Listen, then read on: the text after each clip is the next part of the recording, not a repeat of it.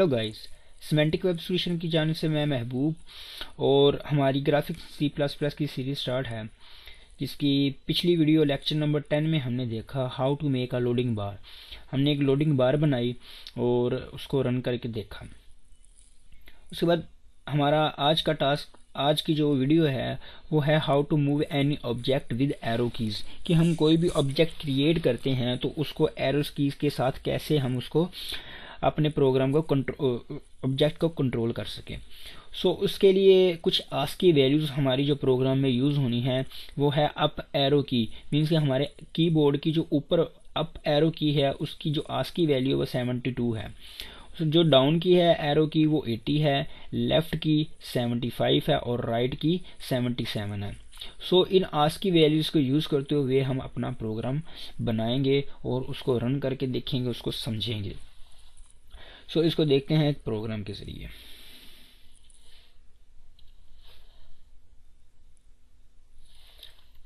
Three मैंने open किया moving object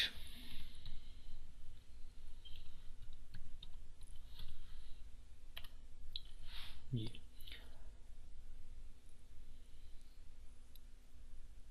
इसकी कोडिंग है सिंपल मैंने hash include iostream conio dot h function use किया, graphics dot h function use किया dos dot dos dot h function use किया dos header हम क्यों इंक्लूड करते हैं, जैसे कि हमने लोडिंग बार जो हमने बनाई थी प्रीवियस वीडियो में, उसमें देखा था कि डोज डॉट एच फ़ंक्शन हम यूज़ करते हैं डिले के लिए या क्लियर डिवाइस के लिए।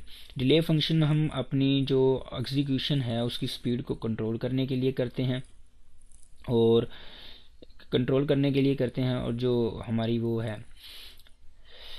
डोस डॉट एच हमारी जो क्लियर डिवाइस है, उसको फ़ंक्शन उसको कंट्रोल करने के लिए करते हैं कि एक दफ़ा हम अपनी इनपुट ले लिया है। ये क्लियर डिवाइस और clear screen same function use करते हैं। क्लियर स्क्रीन हमारी नॉर्मल जो सी प्लस प्लस की कोडिंग है, उसमें काम करती है और क्लियर डिवाइस हमारी ग्राफिक्स में काम करती है।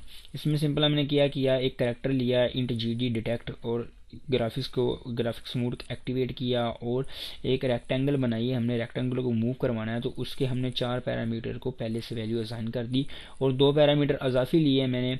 Y is equal to zero और X is equal to zero means कि ये हमारी एक्स एक्सिस और वाई एक्सिस को देखेंगे।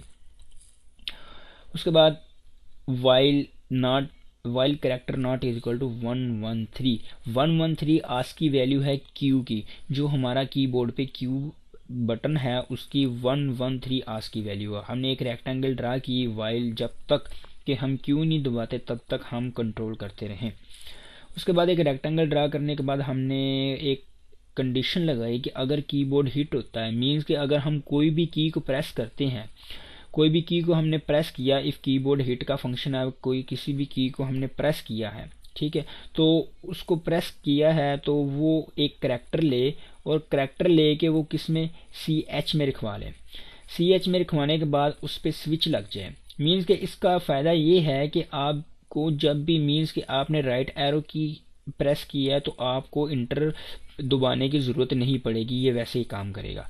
उसके बाद ये स्विच में है स्विच के बाद मैंने 77 केस दिया 77 केस आपको पता है कि ये राइट साइड की तरफ़ मूव होगा। तो राइट साइड की तरफ़ जब भी रेक्टेंगल मूव करवानी है तो उसकी एक्स की वैल्यू हमेशा इंक्रीज होगी। सो एक्स के ऊपर हमने ज़ीरो ली थी तो इनिशियल डिक्लेयर किया था तो यहाँ पे एक्स की वैल्यू हमने वन दे दी और वाई वैसे ज़ीरो रहने दिया, क्योंकि राइट की जब भी हम प्रेस करेंगे तो ये दाई साइड जाएगा, ना कि नीचे की तरफ़।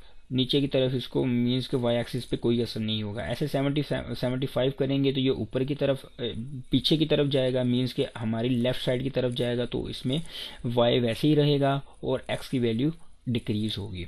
इसी तरह 80 फ़ंक्शन हमने केस 80 में देखा। 80 हमारे जो है वो नीचे की तरफ़, नीचे डाउन वाई एक्सिस इस पर फ़र्क पड़ेगा एक्स एक्सिस सेम रहेगा।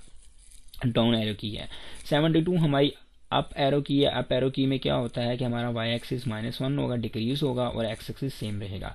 उसके बाद ब्रेक और case Q case Q means कि अगर आप क्यू प्रेस करते हैं तो आपका वो जो प्रोग्राम ब्रेक हो जाए। उसके बाद मैंने ये इंक्रीमेंट किया है आई में इंक्रीमेंट किया जे में इंक्रीमेंट किया एल में इंक्रीमेंट किया और एम में इंक्रीमेंट किया मीन्स के जो हमने वेरिएबल जो हमने पिक्सल रेक्टेंगल के दिए हैं, उनमें हमने इंक्रीमेंट कर दिया ताकि हमारी वैल्यू जो हमारी रेक्टेंगल है, वो रन हो सके। और डिले मैंने वन किया कि डिले मिली में देते हैं डिले वन किया है कि उसकी स्पीड जो है, वो वन हो सबसे फास्ट हो। उसके बाद क्लियर डिवाइस फ़ंक्शन यूज़ किया। क्लियर डिवाइस अगर आप फ़ंक्शन नहीं यूज़ करते, मैं इसको रिमूव करता हूँ। जी अब मैं इसको रन करता हूँ तो क्लियर डिवाइस फ़ंक्शन का इसका ये नुकसान होगा कि जो भी हम रेक्टेंगल मूव करवाएँगे तो प्रीवियस वाली जो हमारी आउटपुट है इनपुट है वो उसको रिमूव नहीं करेगा। सो so, इससे बचने के लिए हमने क्लियर डिवाइस फ़ंक्शन यूज़ किया है। क्लियर डिवाइस फ़ंक्शन हमने यूज़ किया। क्लियर डिवाइस फ़ंक्शन जब भी यूज़ किया तो हमारी जो प्रीवियस आउटपुट है वो उसको हमसे मूव करवाने से वो रेज करता जाएगा। नीचे डाउन की मैंने प्रेस की अप की राइट की और लेफ़्ट की। राइट की प्रेस की और लेफ़्ट की प्रेस की। तो जैसे जैसे हम इसको प्रेस करते जाएँगे ये हमारी आउटपुट वैसे देगा। ठीक है? सो so, ये था आज का हमारा कि कैसे कोई भी ऑब्जेक्ट को आप मूव करवाते हैं। एज अ प्रैक्टिस आप सर्कल ड्रा करके आप उसको मूव करवा सकते हैं। उसमें टू पैरामीटर देना पड़ते हैं और उसको मूव कराना इजी होता है। ये तब तक हमारा इनपुट रहेगा जब तक हम क्यू नहीं दबा देते। जैसे ही मैंने क्यू प्रेस किया और ये टर्मिनेट हो गया। उम्मीद है कि आज का हमारा जो टास्क था हमने मुकम्मल किया। अगर इसमें किसी भी किस्म की आपको प्रॉब्लम हो तो आप कमेंट कीजिए और इसकी आपको कोडिंग डिस्क्रिप्शन वीडियो से वीडियो के डिस्क्रिप्शन से मिल जाएगी। सो so, अगली वीडियो तक हमें इजाज़त दीजिए। टेक केयर अल्लाह हाफिज़।